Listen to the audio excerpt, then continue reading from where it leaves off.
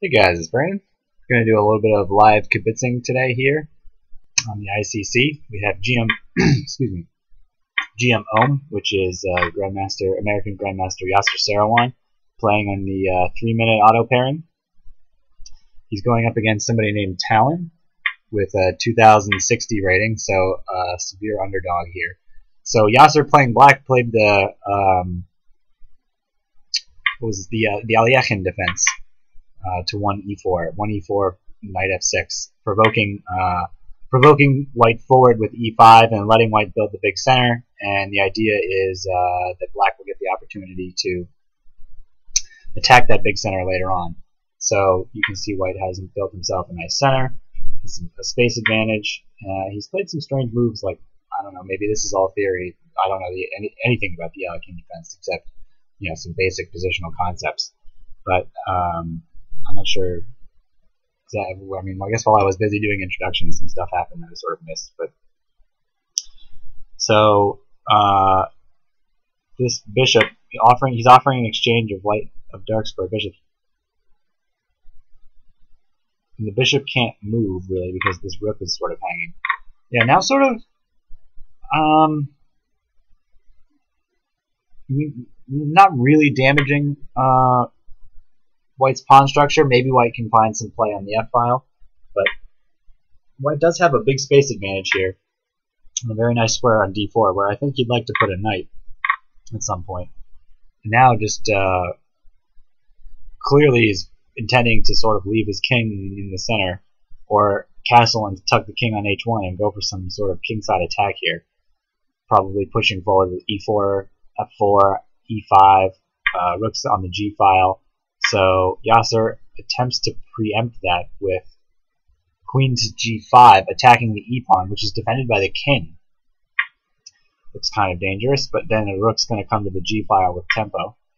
So yeah, rook comes to the g file with tempo, but he keeps the queen on h6, keeping pressure on the um, the uh, e pawn on e3. So that's interesting. Now he's just going to double rooks, and then see the queen and the rooks will be putting a lot of pressure on uh, on the g pawn. But uh, Yasser just calmly plays g6 and doesn't worry about it. So trying to get some more piece trades in, but this is a nice square on what is going on here? Is this an exchange sacrifice? I guess the knight coming into f6 was just too dangerous. Yasser just decided it was too dangerous and couldn't couldn't live with that knight coming into f6. And now looking for a queen trade. So white is actually doing pretty well here. He just has he's just upped the exchange, and it's unclear for what compensation, if any, there is. In fact, I don't think there is any compensation. He's just pushing forward here on the uh, on the king side. Looks like a nice. I mean, he can. White has just got a huge advantage here. He can even maybe switch his play to the H file.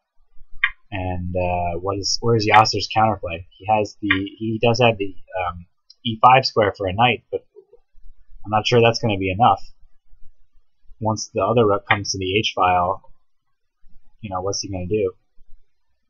Just rook to H2 here? I guess the, the king does have F6. So he's going to have to, yeah, go into F6. But yeah, now the rook comes in on the 8th rank, and he can probably try to attack some of these pawns down here. The B pawn, the A pawn, the C pawn, these are all this is a very tough position for uh, for Yasser here, having to give up the exchange there. That was a really strong attack that the uh, the white player got, and, and Yasser just doesn't seem to have any counterplay. But we'll see if he can drum anything up. So trying to chase the rook off of the eighth rank, and the rook goes willingly off of the eighth rank. That's that was a blunder. Now giving back the exchange here, just missing an easy tactic, and now taking the bishop first, so that oh now taking in this pawn. These are nice tactics by Yasser. Now he can take the rook. And so now, suddenly, after that blunder, uh, Yasser has a much better position. In fact, he's just up a pawn in this rook endgame, and the g pawn is just moving, just moving down the board. Now the the b pawn falling, and uh, this game is suddenly winning for black after that blunder. And nice, nice um, nice, nice of Yasser to catch that tactic, but also not to just immediately play it, playing the bishop takes e4 check first. Uh, okay, so just pushing the pawn, but now rook to g8. No, I thought rook g8 was okay there. Ah, now rook to, now this game is over. Now there's no way to stop the pawn. It's just queen. So, um, yeah, white can just resign here. Tw plenty of time, 29 seconds. And, uh, yeah, white resigns. So, that was a really nice, I think, I mean, obviously, black was much better in this position, and Yasser really was lucky to escape from there, from that game. But, you know, that's part of being a grandmaster. You know, you don't, you don't always play perfectly, but you got to take your chances when you get them. So, so missing this, this fork here, and I'm not sure which was a better move. Maybe just rook to h1. But Yasser's not just uh, not just taking the exchange right away. Was oh, well, he's playing another game, so uh, maybe I can highlight that later on. So Yasser now with the white pieces versus GM Reaperman. So let's see if he has his name here. Another American Grandmaster, or someone at least. His name is Klaus Reberman. Never heard of him, but he's obviously a very strong player. 24-18 rating on the three minute. So, all right, what do we have here? Some kind of uh, hmm, like a Queen's Gambit declined. I was busy talking and missed the opening. So we have some kind of Tarrasch or Queen's Gambit declined with White playing. Uh, I guess maybe this is in English or some kind of Larsen opening. I'm not sure. So Black now decides to open up the position, and Yasser not taking with the pawn in the center, just okay with all of these piece trades. Still not taking with the pawn in the center to try to get the central pawn. Maybe going for pressure on the d pawn with bishop to f3, uh, rook d1, threatening to, to capture this um, this d pawn. Could be his idea here. Um, so black prepares to meet that, I guess, with bishop to h, bishop to um, b7. Yeah, so he, he did to say that was clearly his plan to pile up on this d pawn. And I guess he doesn't want to exchange. Now he, he can't exchange now because the, the pawn is in a pin, but maybe he could have exchanged earlier.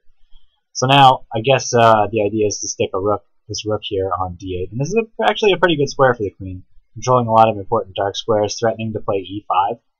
Um, e5 could be an idea for uh, black in this position. But then maybe queen g4 or um, queen h4 and attacking the knight yeah, now now maybe threatening to take. No, I guess he's just willing to retake with the queen in this position. The queen on, on b8, by the way, also defending the bishop. So, I don't know, is taking an option here? Uh, I think it is. Could play check, check, check, check, take the bishop, but that's not enough for the queen. Get a rook and a bishop for the queen, but of course he won't want to do that. Um, knight f5 attacking the queen. So now the queen just moves to g4. But now, well, I would say maybe I would maybe myself tried to play e5, knight f, knight uh, you know, knight f4, and then play d4 to try to open the position up. But maybe he just feels that this tension in the center is not necessarily bad for him. And it, this knight on a3 is a little bit offsides. You know, there's a little bit of a question about where this knight is going to go. Maybe he could go to c3 into d4 um, oh, that's a nice move. I like this queen h5 move. It's keeping an eye on the knight, so black can't play a move like uh, g6 to try to chase the queen away because the knight's just hanging. So uh, black's trying to re-centralize man, but now, yeah, he got he got this tempo in, and um, maybe now he, he got a tempo to relocate his knight. Maybe he can stick it on d4. Maybe d4 is a good square. No, he just wants to leave it on b5 trying to slow down any potential counterplay maybe with uh, b6. But then a6, what happens on a6? And yeah, the pawn on b, the pawn on b3 is a weakness. So how's he going to defend it? Rook to rook to c3, but then a6. So rook to b1. Nope, he decides not to defend it. Instead goes on the attack, attacking the rook and I think this should win this pawn, if I'm not mistaken. Knight takes. Knight takes, rook takes, rook, rook takes, rook. Yeah, it works because the bishop and the, and the queen are defending the pawn. It's enough defense. So rook takes rook, rook takes rook. The knight is defended enough times. So you're also winning a pawn here, but then the b3 pawn is a little weak, and this would also add another attacker to the knight. So the knight would probably have to move somewhere or he decides just to take it first. So maybe rook takes rook here is good followed by rook takes rook, and then queen takes uh, d5. Yeah, now defending the b3 pawn. Oh, just okay, or bishop takes. Yeah, putting pressure on f7, defending the b3 pawn. You might think about a move like you might think about a move like bishop c3 or bishop c4, just to prevent any entry of the rook onto the seventh rank. Um, that might be an idea to consider and open up the rook on the diagonal. At the moment, he just seems interested in trying to chase the knight away. That's an interesting move. He's weakening his king, but trying to chase the knight away from the defense of the uh, f7 pawn, and now probably lifting the rook to f4.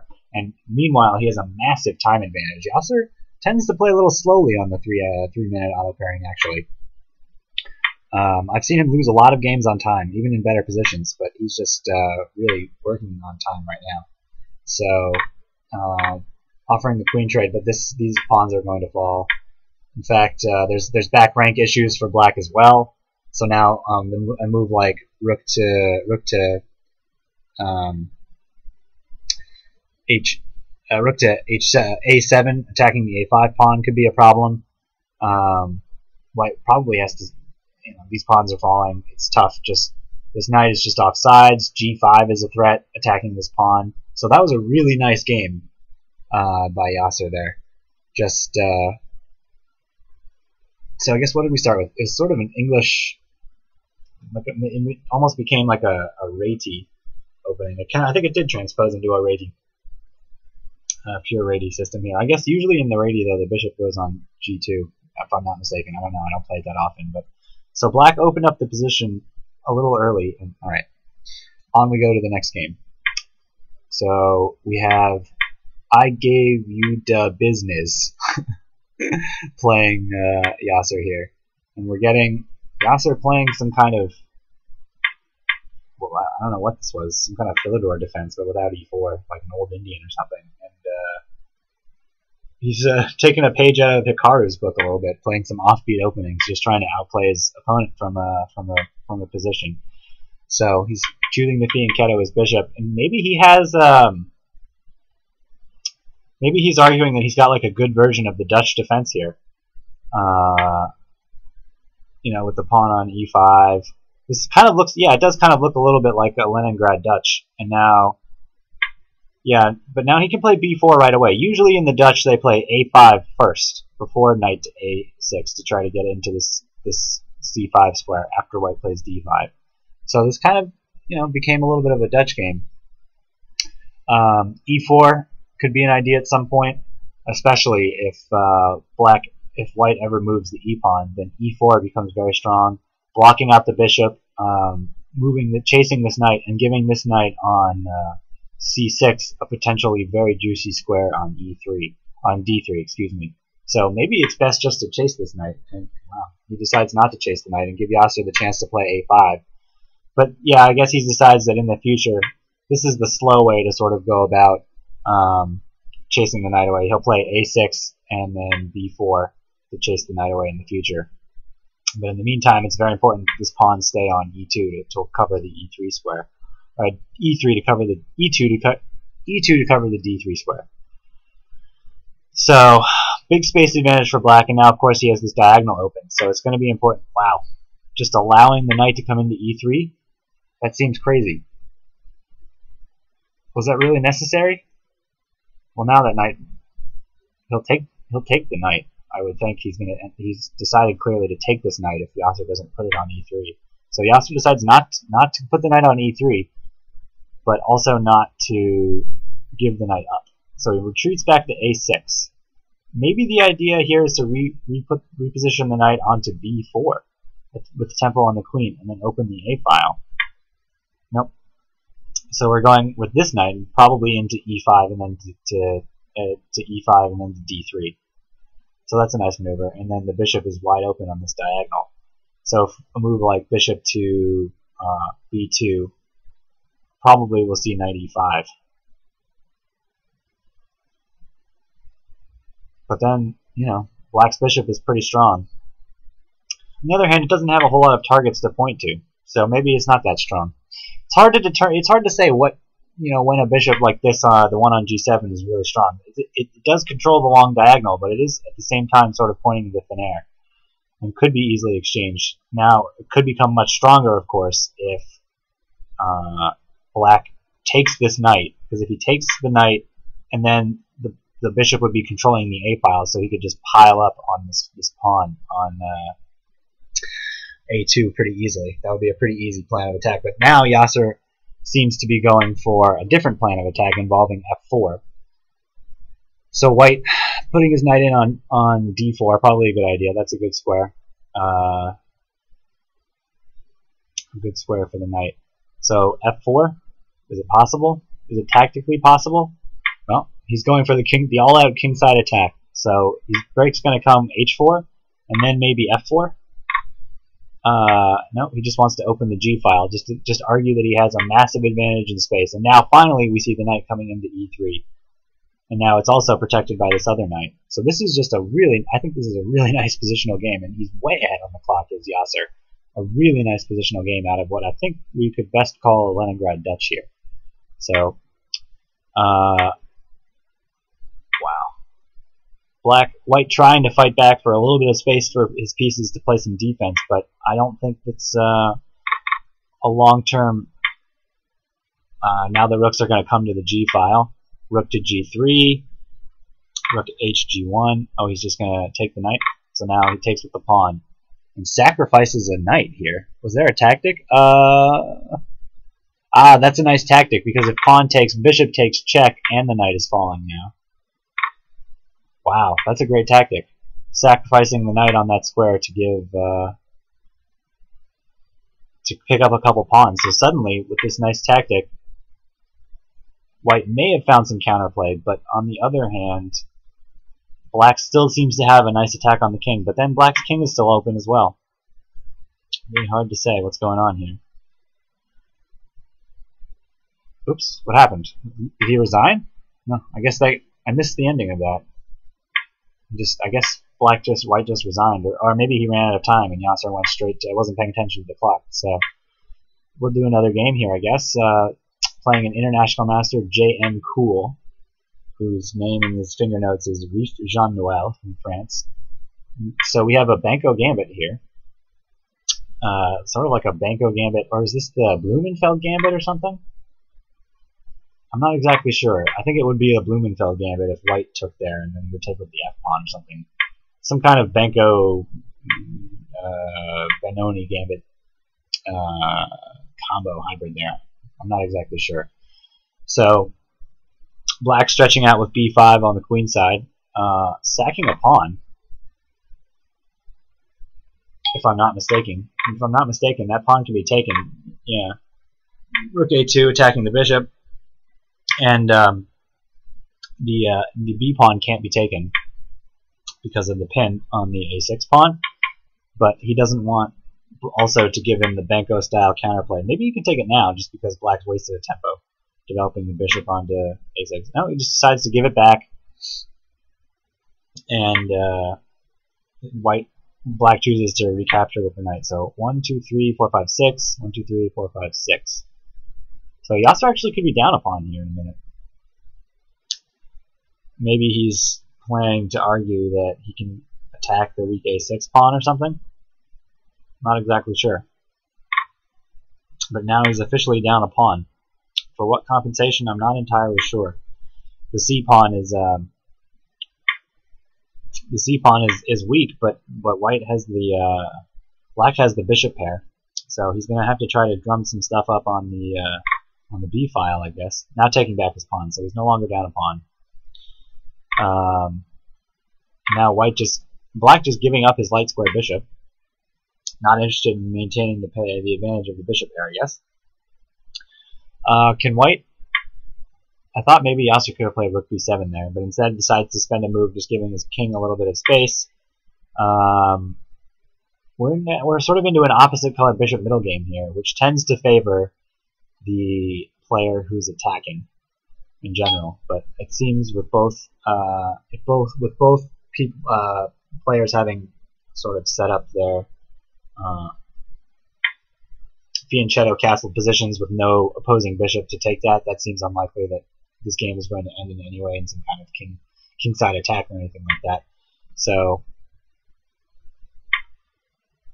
offering a rook exchange here, and black bringing his knight into e5.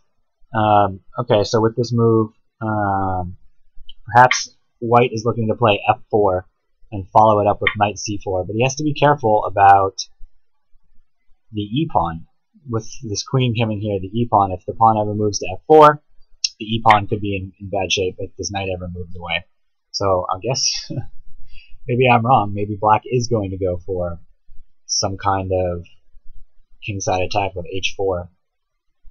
Uh, but can white get counterplay on the A and B files? Or just now with f4? So he has to be careful of... Oh, now giving up his kingside, you know, so he's just now overprotecting the the e4 pawn. So, but rook, rook to rook to e8 seems logical. I don't know if that was really necessary because the knight's a strong defender of the e pawn, but I guess I suppose the argument is it could be attacked by the bishop in exchange, and then the e pawn would fall. So now the rook, now he's just really overprotecting the pawn, and uh, now free to move the knight. Hmm. Interesting. This, yeah, this bishop on d4. See, now this is an example where the bishop is a very strong piece. I think I would argue because it's controlling a lot of entry squares. Like b2 could be an entry square if the knight ever moved. Eyeing the king. So this is an example where positioned on this square on d4 is very strong here. But white is uh, Yasser's making his move in the center. We're about equal on time, and the pawn can't take uh, now because of the pin on the rook. So coming in with the knight, offering the bishop for the knight is probably a good thing. I think that bishop is a very strong piece. But yet, like I said before, now that actually loses the queen. Yep, because of that b2 square problem. So that was a bit of a tactical. He forgot that the knight was covering the b2 square. So trouble for Yasser now he's going to have to hope that these pawns are strong enough to. And he resigns actually because the bishop is now blocking the pawn coverage, and uh, this pawn on, on d7 won't be enough. So yeah, just just makes a blunder, uh, moves the knight out of the way. A, a, good positional idea probably, but just blundering the queen there. Uh, okay, we'll do one more game. So Yasser now with the black pieces. Yeah, playing D, playing this d6 e5 stuff a lot today versus Sophos, an international master from Germany. So let's see if he. So black decide, white decides just to uh, keep the center, not push with d5, and uh, so understandably, black builds up uh, pressure on the d4 point. And yeah, this I mean this is really like Nakamura's type stuff that we see a lot from him in his blitz games. Just the knight to h6 and the f5 and uh, now white choosing the castle queenside, and Yasser not afraid at all of the opening on the G file. Just um, castling kingside, so we could be in for an exciting game here. This will be the last one I cover for this video, so we'll see. Maybe we'll get into we'll get an exciting finish here. Looking to play b5, of course, opening up some lines. But b5 could possibly be play be met with c with you know with Okay, so he decides to play d5 in, in response. That's interesting. Now attacking the pawn with the knight, so he's giving giving himself an option of how to capture. He'll definitely try with the knight, I suppose. The idea is to fork the queen and the bishop if this bishop is not no longer defending. That's yeah, that's why we moved this knight out of the way so that he can still take the pawn with the with the with the pawn, but if he takes with the knight, the bishop will definitely give itself up because um, I think his argument is the dark square bishop will be a more valuable piece in the long run against the, the king, but or at least that he'll need the dark square bishop if he's going to have any sort of king side attacking chances. Um, although the knight on f7 does cover the h6 square, so I would like to play bishop h6 at some point, but covered at the moment. So, wow, Yasser voluntarily opening the g file and sacking a pawn in the process, or was there a tactic? Takes, bishop takes,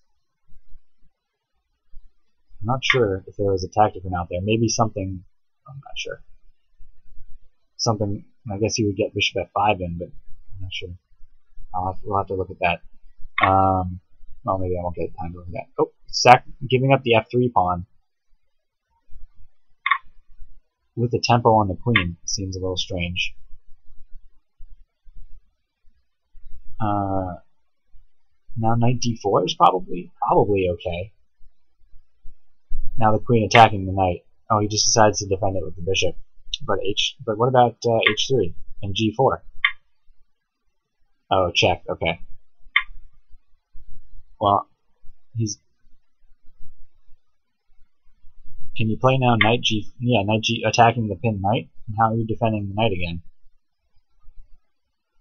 Usually not a good idea to walk into the walk into a pin. Okay. But shouldn't there be tactics here with with with f3? Takes, takes, queen takes. Yeah, bishop takes check, queen takes. So wait, but then the bishop is hanging. Yeah, I thought there would be tactics here. f3. Now take with the knight, and now take the the knight here. Oh. Oh, okay. That, this also works. But now, yeah, now you can take the. Oh, he's not even interested. He's just going to move his knight in. That's a nice move. But now he can take the two pieces for the rook here with rook takes f2 check, followed by bishop takes knight, and white just decided to resign. How is he even? Yeah, he's just that was just a nice tactic there. So uh, we'll call this one the last game here. Uh, the line I had in mind with this sequence was, yeah, f3. Oops, what did I do wrong here? I don't know if I can examine the game. Uh, the idea I had here here was to take the knight check and queen takes and then rook takes f2 uh, but this also this also works attacking the queen and then the knight coming in and uh, yeah I mean I don't think the queen can the queen can't defend both the knight and the bishop from any square can she yeah, there's no square. Or, or what about maybe, yeah, maybe D1? I don't know. Hard to say. D1 might be a possible defense. But then probably probably it's good enough just to, to take the knight check and then take the bishop with the rook. Which is also a better way of doing it from my own example from before. Here. Uh, yeah, just take uh, just take the knight there take the knight check, and then take the bishop. Yeah, seem to be winning a piece in, in all variations there. So, all right, this was a long video, but uh, we got some good games. I hope you guys enjoyed them, and we'll see you next time. Bye.